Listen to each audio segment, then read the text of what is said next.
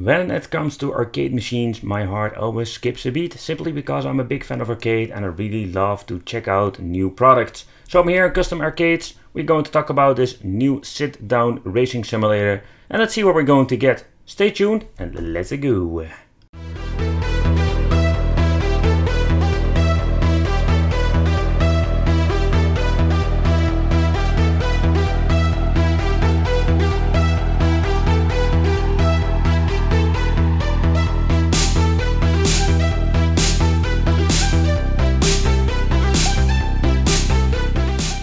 To be honest, I was a little bit surprised seeing this racing cabinet with the company Custom Arcades because most of the companies here in my country only sell, let's say, classic arcades or let's say more like the modern arcade machines with Pandora's boxes.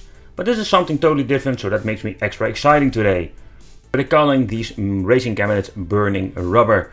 I really love the light up marquee on this device and it looks quite nice.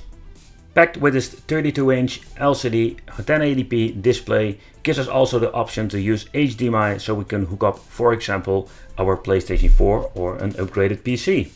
What I also like about the cabinet itself, it comes with a Logitech G29 steering wheel from Logitech and this is the deluxe version with three pedals. So if you want to connect an other device, what I already mentioned on PlayStation 4, Xbox One or let's say in PC, it's very easy to upgrade and play modern racing games with this cabinet.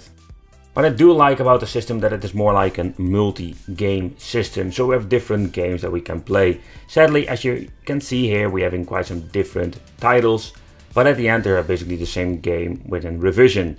So I really hate it when they do this with Racing Cabinet also includes, for example, the Pandora's box. But as you can see over here, most of them are pretty damn old racing games and all arcade. When you're looking at the steering wheel, at the right we're having the mode button and when you're pressing the mode button you go back to the menu and we're going to check the console menu. So we're having basically arcade list and then console list. The console list contains a lot of N64 games I did notice. For example, we're having the Outrun 2009, that is the console version, so I'm guessing is the Xbox 360 or the PS3 version. But at the end, it's a very cool list and a lot of familiar games. But if you want to race them on this cabinet, Cruising the USA, for example, is really great, but we have in games like Extreme G. I think these games don't belong here on a camera like this. But nevertheless, I think the G29 Logitech racing wheel is a very good addition, but how does it work? It's pretty simple to be honest. At the right side we're having the mode button, what I already shown you, and with quit, when you're in the game pressing the quit button, it just goes back to the main menu. At the left side we're finding coin and enter. That's it, the coin are of course only for arcade games.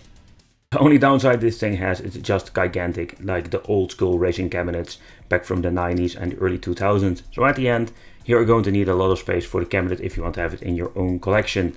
But it's very cool, like the original cabinet you can basically remove the chair itself. So there's a separate part for the cabinet. So you can transport it like this.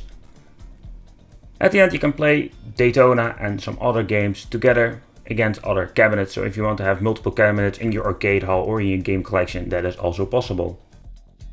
It's an adjustable seat as you can see, like it should be of course, and it's pretty damn comfy if you play for a very long time. And like a real arcade cabinet, it also has a way of putting in your coins. Right, so let's take a close look at the inside, but I find it also very interesting to see what's all happening inside. Man, this thing is gigantic, this big panel, so you need to lift it up and you can remove it very easily so you can reach at the inside. I just wanted to give you a quick overview how everything is connected and like a lot of these cabinets it looks pretty damn amazing. All the cables are tied up very nicely. At the left you can see the power supply. Here we're having the driver to mainboard. Basically it's just a PC. I couldn't find any specification on it but if you look at the games I think it will not be a very high-end gaming PC. It contains just a 100 plus games and most of them are just console games. Here you can see that says only racing board and of course steering wheel. It's the brand new 2020 version. Here we have the power strip and also a little power supply for the JAMMA part because it's more like a two-in-one system. As you can see over here we're having this little PCB that is basically for the JAMMA connection for the coin mechanism here at the back we can see how they basically made this G29 Logitech steering wheel inside this cabinet. I'm gonna send them to them. It's pretty genius. And the outside looks pretty good. So the little JAMMA board is connected with USB. But if you can take a close look at the main board over here, you can see it doesn't even have HDMI. So man, this main board is pretty damn old school. But enough chit chat. Let's burn some rubber with the burning rubber cabinets and let's play some games and let's see how they are running.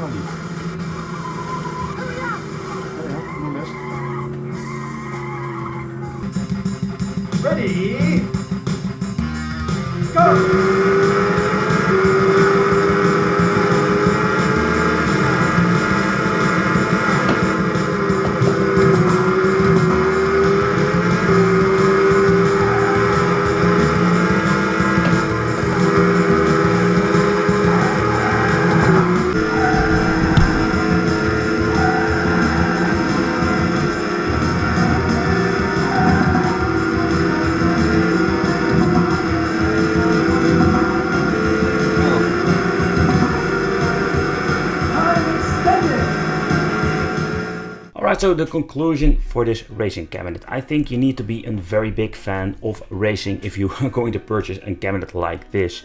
If I had the space and money, I would do because I love racing games, beside pinball of course. I think the 32 inch display itself looks amazing, but there is a catch.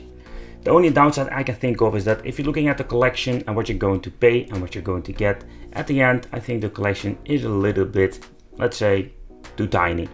There are quite some good games on it, don't get me wrong, we have Sega GT, Daytona, Cruis'n USA, World Exotic, you name it, there are a racing amount of good games, and not to forget Outrun of course. But if you're looking at the overall quality of some of the games, I did notice some, let's say N64 here on it are not running perfectly because N64 is always a little bit of a problem, of course depending what kind of emulator you're running. The G29 Logitech steering wheel is a very big improvement for this cabinet in general, but I did notice that most of these cabinets are coming without this steering wheel and just with the, let's say, the basic Chinese racing wheel. We can just hook up on PlayStation 4 or if you want to have, you can always upgrade this yourself with a better PC so you can play the best games out there. Playing these old school games is just so awesome this way. Having a racing wheel sitting in a cabinet, this is the way you need to play them. But what I did notice with the Logitech G29, it's a great racing wheel, don't get me wrong. But when you're playing, well, let's say the newer games like Sega GT, you are feeling the force feedback and you're going to get more, let's say, the more potential of this racing wheel. And if you're like a big retro gamer like me, or and you're liking racing games, or you're liking arcade cabinet, or you love them all like me, don't forget to subscribe to the channel, hit the bell, become one of the Wicked family, because I have a lot of great stuff coming up, and I will see you in the next video.